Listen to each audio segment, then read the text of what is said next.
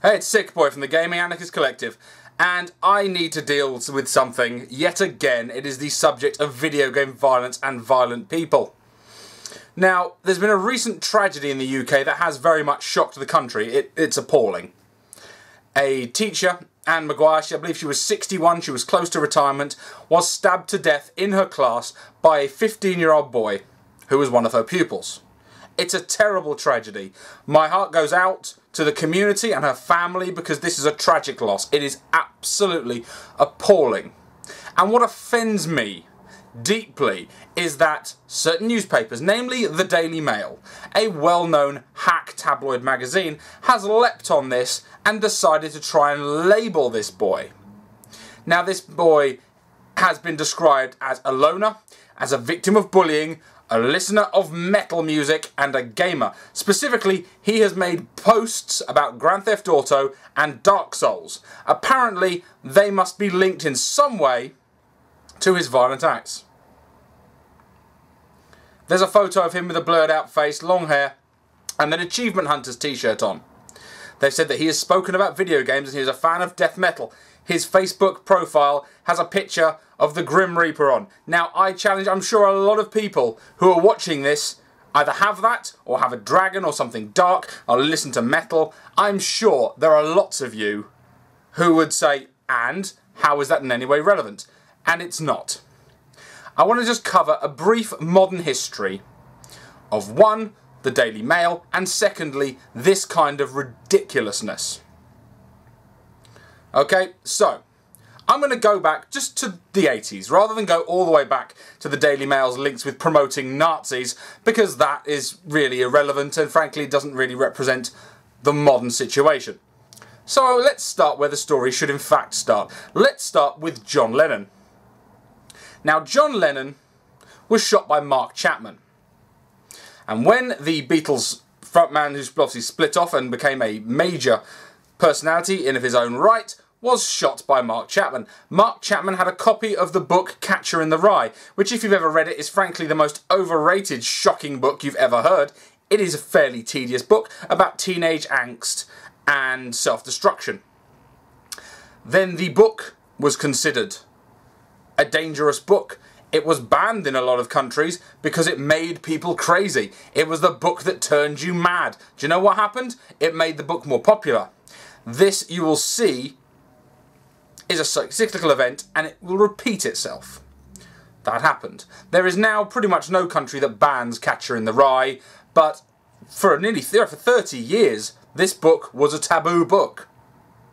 Now, in recent, very last couple of years only, the ban's been lifted in the US. It was banned in America for nearly 30 years. That's crazy. Now, go on a few more years. They've blamed their books. Books have been blamed for hundreds of years. In fact, you can go back and you can see how the works of the Marquis de Sade, books like The Monk as well, were blamed, Lady Chatterley's Lover, were blamed on over the last, over hundreds and hundreds of years. These works of fiction have been considered corrupting of the youth. It appears because there are two types of people in this world, really. There are the ironic and the literal.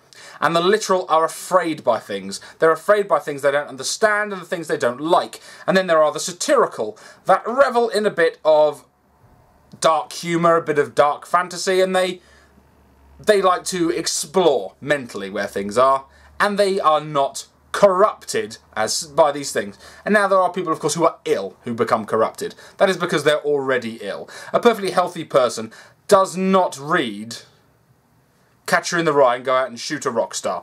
Does not happen that way. A damaged person becomes obsessed with something. A paedophile may read Lolita, but Lolita may not make you a paedophile. These are simple facts that have been proved time and time again by psychologists and by behavioural science in general. There is no cause correlation between these things and violent acts. Now, moving on to something more shocking than the death of John Lennon, was the death of Jamie Bulger. Now, I'm not going to even mention the names of the murders of this boy because it still makes me feel physically sick. I was a very young boy when this happened. I remember watching it on the news and being deeply sickened. Deeply sickened. And I was younger than the boys who committed this crime. They were around seven or eight at the time. Um, just to recap the story, not to go into too many gory details. Uh, young Jamie Bulger was a toddler in Liverpool. He was abducted by some older boys. They took him down to the river and they tortured him to death for about 20 hours. A lot of the information was not released to the public because it was too shocking.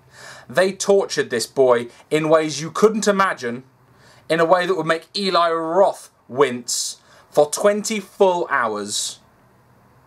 It was one of the most shocking crimes in British history. It was appalling. And what happened is these boys went through trial. Now they spent life in prison. They've had their names changed. One of which came out of prison under guard, uh, had a partner who had a child, ended up becoming a convicted of being a child molester, went back in prison again. These are some very disturbed individuals.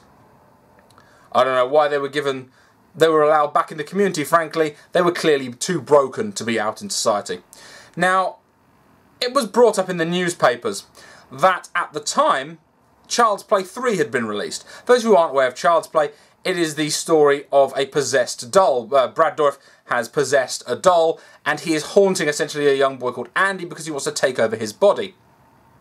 Now, by the third film, Andy's a little bit older. He's at an uh, army school, and Chucky hunts him down and murders a load of kids in this corrective army school.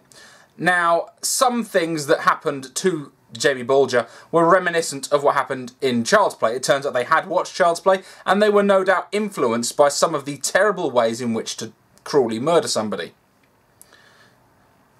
Uh, they, course, caused that as a cause and effect and said that Child's Play was a cause of the murder of Jamie Bulger, when of course it was not.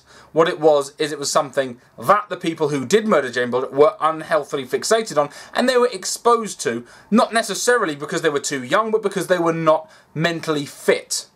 When you go into their background, it has nothing to do with the film.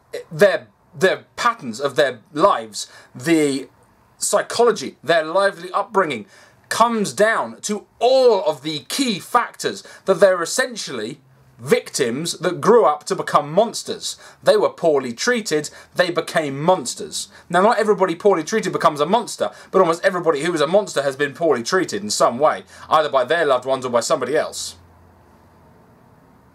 That is the cyclical nature of abuse. So, that was videos. That was film, video nasties, films out on VHS in the 80s. They were the devil and were to be avoided. Now let's leap forward a little bit to the 1990s. Let's look at things like the Columbine Massacre. Now video games weren't the big thing. Adult video games certainly were not the big thing at the time of the Columbine Massacre. And what did they blame for that? Marilyn Manson. Nowadays they tend to blame rap music, but back then they tend to more often than not blame metal, as they have in the case, this modern case, they have in fact blamed metal again. And they blamed it on Marilyn Manson, which is again ludicrous. Now, the documentary Bowling for Columbine makes the fair point. Why don't they blame bowling? Because the last thing they did before they murdered hundreds of, well, not hundreds, sorry, dozens of people was go bowling. They went to their bowling class. Then they murdered their classmates. No one blamed bowling. They blame metal because metal, Marilyn Manson is weird looking and he's new and he's frightening. If you are if you are a literally minded person, you see someone like Marilyn Manson, you may consider, you may be apprehensive about him. You may consider him disturbing. You may think there's something wrong with him. You may think he's satanic and evil. And the things that he says to make points are in fact literally what he means. Which of course, he is not a literal person. His job is not to be literal about what he says. What he says, he says through allegory and satire. And these literal individuals can't handle that. So these newspapers and these pundits and these scared suburbanites complain and blame the monsters. Now, just around about that time, Grand Theft Auto was due to be released. Before Rockstar were Rockstar, they created this game. Their previous big game was, of course, Lemmings. They wanted some publicity. They wanted to drum up some publicity. They made the game because they wanted to make what they enjoyed and they went down a dark path to make a very dark and violent game. One of the most dark and violent games that ever been made. still is one of the most dark, the GTA series is still among the darkest games ever made. And of course with their sense of humour tied in. So there's of course a sense of humour about the darkness and that's what seems to disturb a lot of people. Again, the literally minded people. So what did they do? They hired one of the UK's top publicists, in fact the top publicist up until very recently, Max Clifford. Now Max Clifford said, I will do this, I will target these newspapers, I will target these members of parliament with these stories. They will pick it up and they will go crazy. The puritanical, literal individuals will blame the video game. They will say, this game is corrupting the youth because they don't understand the youth because they are no longer young. So, in fact, Rockstar themselves uh, take a great deal of blame when it comes to propagating the myth that video games cause violence. They hired a man who spent his time and effort earning money for them and for himself by painting gamers as monsters. And it's worked all too well. Because it's been nearly 20 years and people still talk about Grand Theft Auto as the big bad. To the point where they had to throw in a torture scene just to be shocking. Incidentally, as a side point, I was going to make a video about this down the line, and I may well do, where I uh, have a bit of a rant about him. Max Clifford, incidentally, the uh, the man who riled up the Puritans to get them all angry, full of vitriol about this monstrous thing that's corrupting our children, he was convicted on Monday of eight counts of sexual assault. That's right. That's right. The man who was getting all of the puritanical individuals frothing at the mouth at the same time was raping young women. Let that sink in for one minute and you'll understand the difference between the literal and the ironic personality. That's where you have the danger. These, there are sick individuals out there and they will choose to misuse and misrepresent those who are somewhat of a darker sense of humour, somewhat of an ironic bent, and they will manipulate the literal, and utilise their outrage to dehumanise people who just want to enjoy themselves. This happens time and time again. It is a sick misuse. Now, onto the Daily Mail themselves. Oh, the Daily Mail. Now, this rag has many, many a time. It fluffs up race problems, it talks about child abuse to an unhealthy degree that freaks people out. It obsesses people about the value of their property, which was one of the major contributing factors to the housing crash, were the sort of people who would obsess about house prices, mortgage rates, rates of interest. They will go on and demonise everybody that they do not understand or like. Now, one thing I want to just to point out here. Now, if you were to Google murder. Under Google News, not just under Google, but Google News, you'll get about 150 million hits in less than a second. I went a little look through there to see how many had been absolutely couldn't see all of them, of course, because there's 150 million of them. But I just had a quick glance through the first couple of pages. How many of them were even tangentially linked to to video games? Well, of course, one was the case I'm in fact talking about now. That was there up near the top because it was, of course, a recent murder. And most of the, of course, murders happen all the time. Did video games cause cartel violence? No, it doesn't. You can't find a single murder case where video games have been proven to be the causal factor. There are terrible cases where people are playing video games and do terrible things, or people who play video games doing terrible things. There are awful cases out there of gamers who murder their children because they get in the way of them playing Call of Duty. And that's one thing I'd like to also mention. I really want to start disassociating the word gamer because gaming is such a major mainstream thing now. We're not all gamers anymore. I used to think we're all gamers. We're not all gamers. You might as well say we're all film watchers, we're all TV watchers, we're all music listeners. Video gaming is a major, major entertainment medium. You can no longer be defined because you play video games. Are you heavily invested in video games? Are you highly interested in video games? Then yeah, we need a title, and perhaps hardcore gamer is probably too pretentious, but something that that signifies you have a particular interest in video games, rather than an interest in a video game. I think that should certainly be done, the distinction of saying we're all gamers, bringing in gamers, lumbering us all together.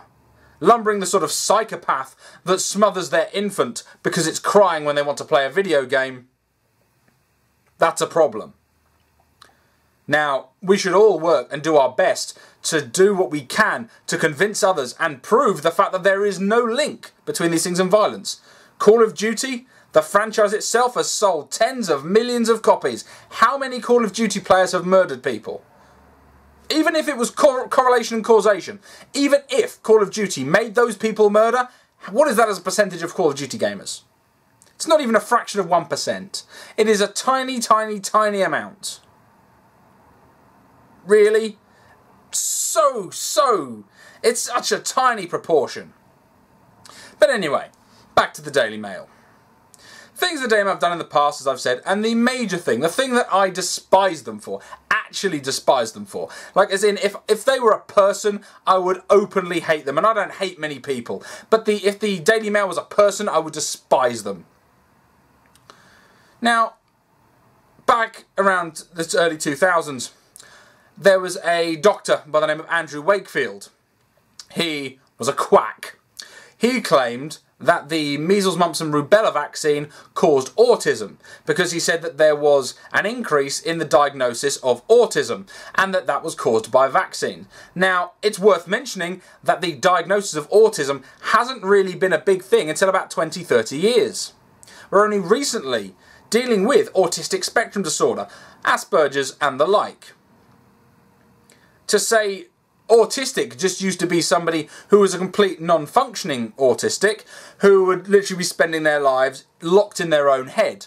Or you'd have perhaps the savants. They'd be called the idiot savants, which is a terrible phrase, but it's what they used to use, and that would be Rain Man. That'd be the sort of person that would really, you wouldn't think they were paying attention, and then all of a sudden could count how many matchsticks were on the floor. Those people, the sort of people who can look at something and then they can do a perfect recreation after a split second of looking at it those people are referred to were referred to certainly as idiot savants, which is a terrible phrase. But all, essentially all video game programmers, all programmers practically, all accountants probably have high functioning Asperger's. It is a very common condition with those who are meticulous and to say I'm on the autistic spectrum just literally means you are somebody who gets, who tends to be focused on something that other people may find mundane you'll find that on average, people on that autistic spectrum tend to, um, maybe they like to make models, they like to draw, they like to do something that other people may find particularly tedious, and there's nothing wrong with that. But he made this link, and it terrified the middle class, particularly down to the fact that the Daily Mail pushed and pushed and pushed and pushed. They have deleted a great number of their online articles where they used to say that it causes autism. MMR causes autism. MMR causes. They would go. Oh, other scientists say not. All scientists, all medics, all researchers, all people who knew what they were talking about knew that there was no link between vaccinating your child and giving them autism. This man has since been struck off. He can no longer practice medicine because he's a quack. And what happened in the last few years since this whole palaver happened. These children were born, they weren't vaccinated, they have gone to school. And a number of them have died.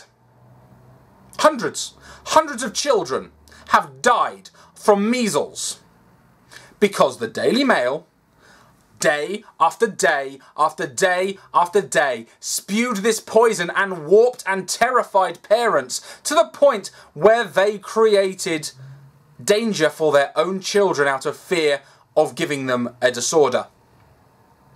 This is what people like they do. This is what the literal and the scaremongery do to people. They fill you with fear. There's a reason why when people walk into a lift, load of white people in a lift, and a black person walks in, even if they're not racist, at least a proportion of them will all of a sudden change how they stand. And these people aren't even racist, but these are the sort of things that become propagated by this kind of spreading abuse. This is exactly the kind of thing that pushes ultranationalism, that pushes racism, bigotry, homophobia, these kinds of things. Now, if you have rational, if you are a rational individual and have opinions on things and don't abuse other people, that's less of a problem than those who come out and evangelically speak about how terrible things are and they, ex- they exaggerate them and they twist hate and they put hate in the hearts of those who might have a question or two. They might ask a, an honest question like, why in a poor area are people more likely to be violent? And the likes of the Daily Mail will come out and say, because they're evil scum.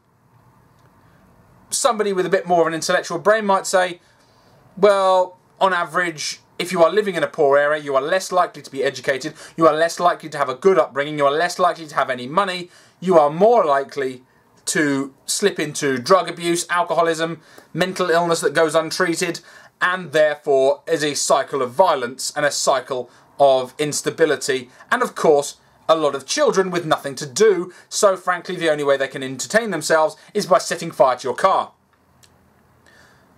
There's nothing wrong with saying, I don't want to leave my car in this area because some kid's going to set it on fire. That is a rational self preservation technique. However, to turn around and say, uh, you're poor, you're evil scum, that's the sort of thing that the likes of the Daily Mail will spew. They're a sick individual organisation. If they were a person, I would despise them. As I said, few people in the world I hate. If the Daily Mail was a person, I would punch them in the face. They are vile.